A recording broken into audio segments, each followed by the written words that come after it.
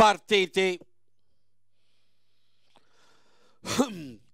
Tramorsa lungo la corda in vantaggio avendo all'esterno Lives che gradatamente passa in vantaggio poco prima dell'imbocco della curva.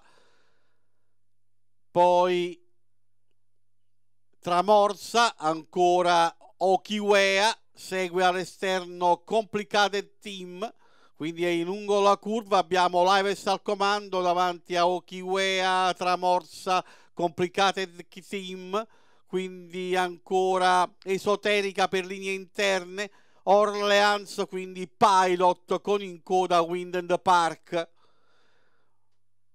Cavalli ora prossimi all'imbocco della retta di arrivo con Lives al comando e Okiway al suo inseguimento. Tra i due trova spazio Tramorsa, poi per eh, linee esterne complicate il team in anticipo su Okiwea, per linee interne trova il varco esoterica, poi a largo di tutti Orleans con a largo ancora Wind in the Park e O Intense Rock Lives sta allungando nei confronti di Esoterica che ci prova al suo interno. A largo sono Tramorsa e Orleans.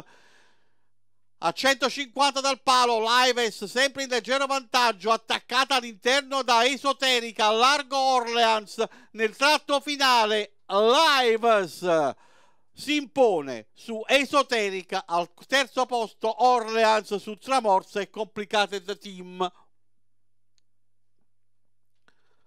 Andiamo a rivedere le immagini che ci ripropone la regia con il numero 7 dello schieramento Mirko Mimmocchi in sella, Lives a bersaglio.